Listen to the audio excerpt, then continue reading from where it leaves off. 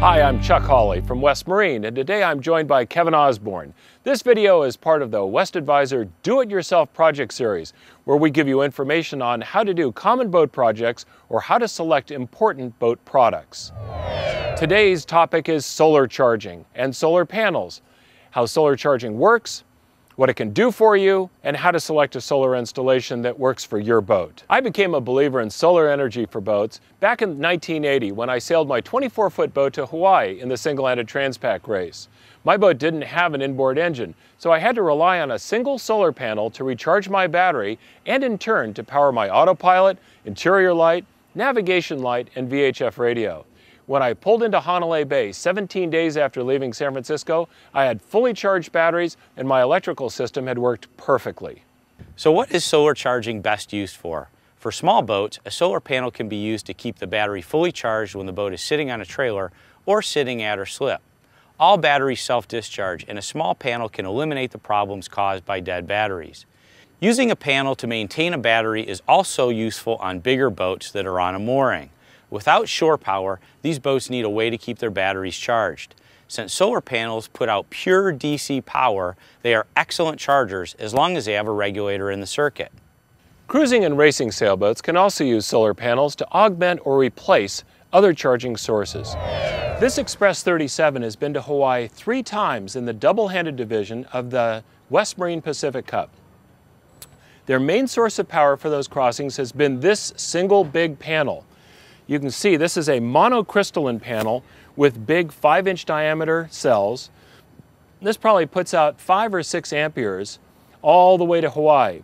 And it's mounted on the pushpit, so it can be hinged. Now this is kind of a neat arrangement because when you're going to Hawaii, you want to drop the panel down in the morning because you're going towards the west, so you want to point it towards the east. And then as the sun comes overhead during the noon, you pull it up horizontally, and then you get as much sun as you can by pulling it up like this until you get too much shadowing from your sails. This is an ideal way for cruisers who don't want to permanently mount panels to nonetheless have a secure way of supporting them and to also aim them so they get maximum output. One of the key features that I like about solar charging is that it's entirely silent, unlike propulsion engines and generators. Nothing ruins a quiet anchorage quite like the noise from an adjacent boat's genset when you're trying to enjoy the solitude. Solar panels won't wake the neighbors and won't heat up the cabin when you're in the tropics like your engine will. Great point, Kevin. It can get hot enough when you're cruising in the tropics without having the additional heat of a diesel engine in the middle of the day. Now let's talk about some basic electrical terms that will help you understand the output of a solar panel. The panels we're discussing were designed for charging 12 volt batteries.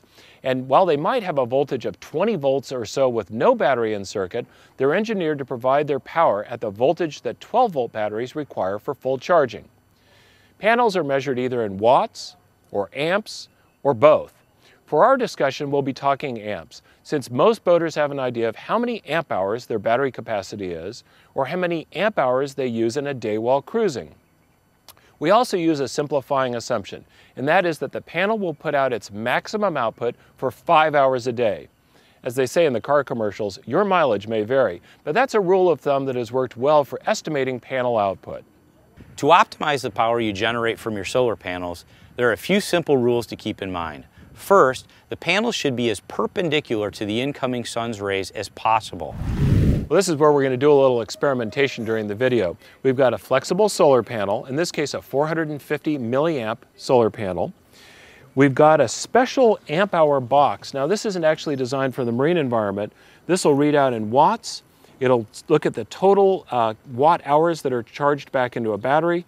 It'll read out in amps and in volts, all on one compact display.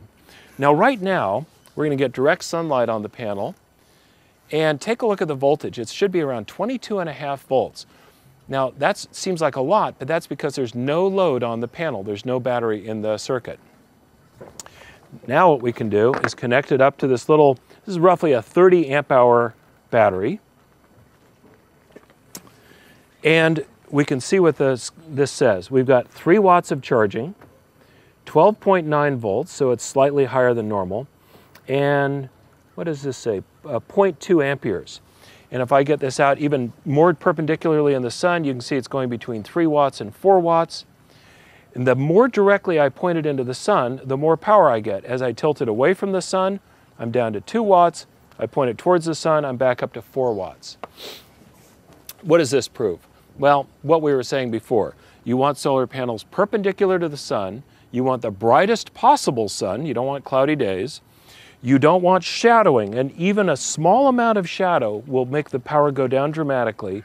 And finally, you want to keep your panels cool. I'm just going to put my arm over this, and you can see it goes from 2 watts, pull my arm away, now we're back up to 3 watts, and back up to 4 watts. So just a 10 or 15% shadowing has a dramatic effect on the panel's output.